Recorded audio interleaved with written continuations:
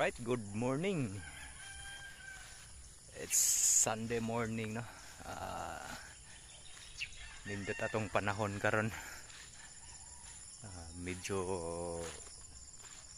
makulimlim, no? Yung ah, ulap. Pero parang wala naman tayong low pressure. Ah, maganda lang yung panahon natin. Yan guys, kumusta? Kumusta po kayong lahat dyan, no? Ah, dito tayo ngayon sa probinsya namin, no? Ah, ah, naglalakad, no? Ah, pauwi na din ako sa kabilang bahay. Ah, dito lang ako natulog sa province namin. Ah, kailangan din nating ah, umuwi dahil may alaga din tayong pusa doon sa kabilang bahay. Dahil isang araw at isang gabi na din nating hindi na ano, ah, nauwi yung alaga nating pusa. Baka na ano na yan nagutuma na. Kailangan din nating ano ah, bisitahin yung alagang pusa natin doon sa kabilang bahay. Baka naglayas na. Yan guys no? Ah, ito. Kita niyo yung daanan ko guys. Ah, medyo maputik din siya no? Dahil ah, nung isang linggo siguro mga isang linggo din na umulan. Ayun no Ah, may ano pa may may lunangan ng ano kalabaw. May tubig. So maganda dito talaga guys sa probinsya no? Ah, malamig yung ano simoy ng hangin. Presko yung ano yung mga prutas yung mga gulay na kainin natin. Ayun ito yung probinsya namin uh, paka ano ah, tahimik. Tahimik yung lugar namin tahimik yung ano lugar namin dito yung probinsya namin. Sobrang tahimik marami yung po ano, maraming mga puno ng kahoy. Yun. puno ng kahoy puno ng niyog at saka yung mga puno ng saging. Ito yung mga madalas na tinanim ng mga tao dito sa amin no, sa probinsya. Yung mga puno ng saging niyog at saka yung mga ano ah, mga vegetables.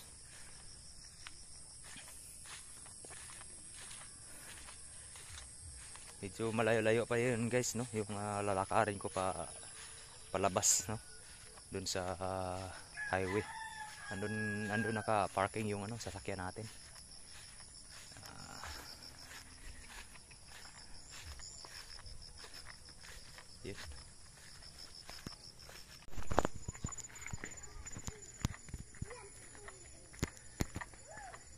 Yan, may mga malunggay.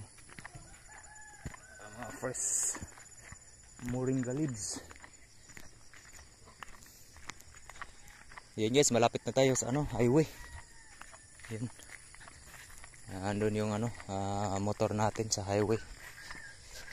Doon nakapark dahil hindi siya pwedeng makapasok doon sa bahay namin doon sa ano, sa loob, ano, ah, sobrang maputi kasi yung daanan. Yan, kita-kita na natin natin, no. May tubig pa. Yun.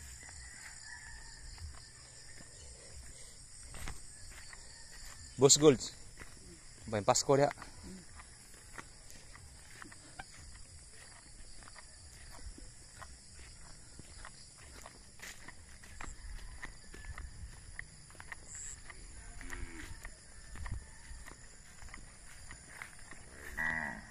Uy.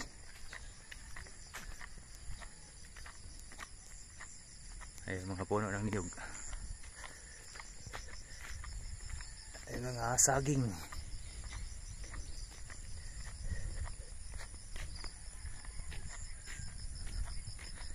Yan, lapit na tayo sa ano, kabilang bahay. Doon yung nakaparking yung ano, motor ko. Ah. Nasa ano na tayo guys. Malapit na tayo sa highway.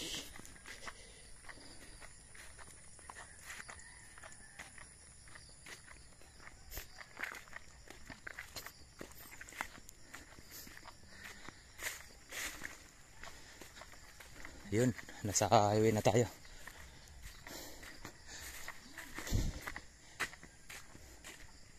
Pasok tayo sa ano, kabilang bahay. Yan guys.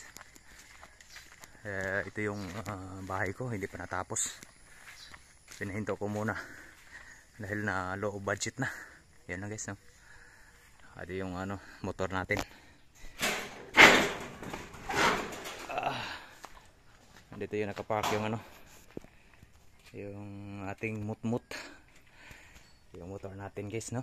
Ah, store ko muna kayo guys sa aking ano Ah, dito sa likod ng bahay yung mga taniman namin. Ano yun no? Oh may ano po tayo may saging. May ano pa. May ah, tanglad no? At saka yung may mga talbos ng kamote. At yun may luya pa. Yun lang guys no? Yun ah,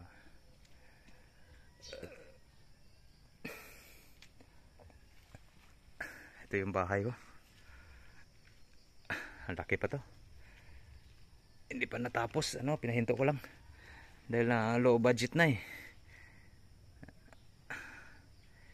Laki pa tong trabaho nito. Ayan.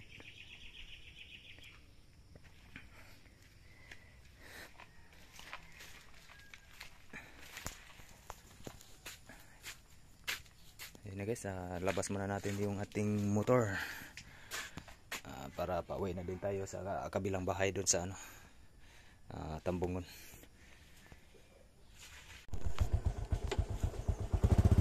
Yun guys, paalis na tayo guys no. Pa- punta na tayo sa ano, Tambungon. Ah, ito yung daanan natin. Dublas. Dublas yung daanan natin guys. Dahil uh, maputi kasi yung daanan natin no. Dahil ah, umulan kasi ng isang araw o uh, kahapon eh umulan din kahapon. Ah, ito yung daanan natin medyo maputik at madulas. Yun lang guys no? Ah, abangan nyo lang guys mamaya no? Ah, ah, pagdating natin sa bahay no? Ah, kung andun pa ba yung mga pusa natin yung mga alagang pusa natin baka naglayas na eh. Isang araw at isang gabi natin na ah, iwan doon sa bahay. Kaya kailangan nating umuwi para mapakain din sila. Yun lang guys no? Ah, update ko lang ah, kayo mamaya no? Ah, pagdating ko sa bahay at ipakita ko din guys kung ano yung ah, reaction ng mga pusa ko. Siguro gutom-gutom na yan no? Siguro sobrang gutom na yung mga pusa ko mamaya pag ah, dating natin sa bahay. Yan na guys no? At salamat salamat po.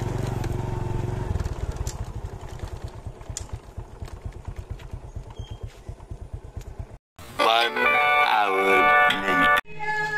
yan guys nasa bahay na tayo no? Ah, buksan na natin yung ano ah, pintuan no Ah, check natin nandito pa ba yung ating mga alagang pusa Uy!